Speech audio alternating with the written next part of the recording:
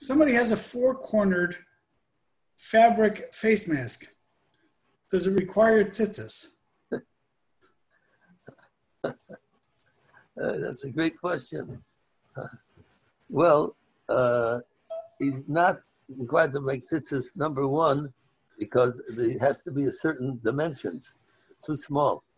It has to be something that is considered a clothing that people wear, and uh, it has to have a, at least a, a certain, uh, usually we say 18 inches uh, uh long, and uh, maybe square, maybe a little less than that, and, and the width.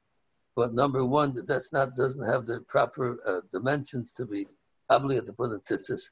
And number two, probably also even the wood, but it's not used for for wearing. It's used for for uh, for to watch a person from getting sick.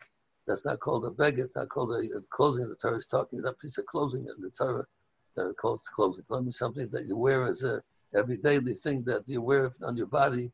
That's how people go. Here, this is a to, to uh, shield a person from, from a, a, sickness, it probably wouldn't be a chayv and tzitzis altogether. But certainly it's not the uh, dimensions that, that the tzitzis uh, have to have in order to, to have, be obligated to put tzitzis in. Don't don't